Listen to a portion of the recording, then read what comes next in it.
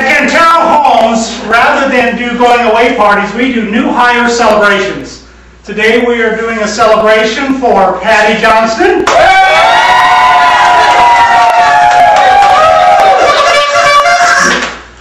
And we're going to tell you the story of the goose.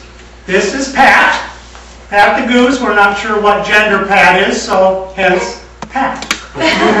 Um, But with that, we're going to start at number one, and we're going to tell you the story of the goose.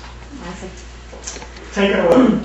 In the fall, when you see geese heading south for the winter, flying along in a V formation, you might consider what science has discovered as to why they fly that way. As each bird flaps its wings, it creates an uplifting for the bird immediately following.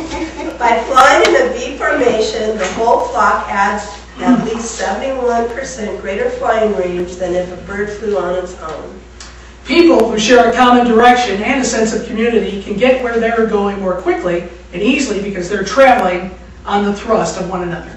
When a goose falls out of formation, it suddenly feels the drag and the resistance of trying to go in alone, and quickly gets back into formation to take advantage of the lifting power of the birds in front.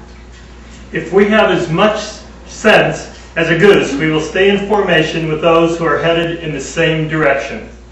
When the head goose gets tired, it rotates back in the wings and another goose flies point. It is sensible to take turns doing demanding jobs with people or with geese flying south. Geese honk from behind to encourage those up front to keep up their speed. What do we say when we honk from behind?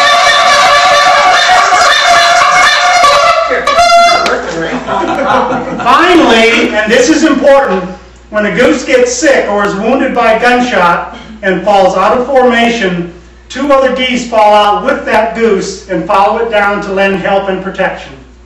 They stay with the fallen goose until it is better or until it dies, and only then do they launch on their own with another formation to catch up with their group. Do you have a sense of a goose to stand by each other like that? Absolutely!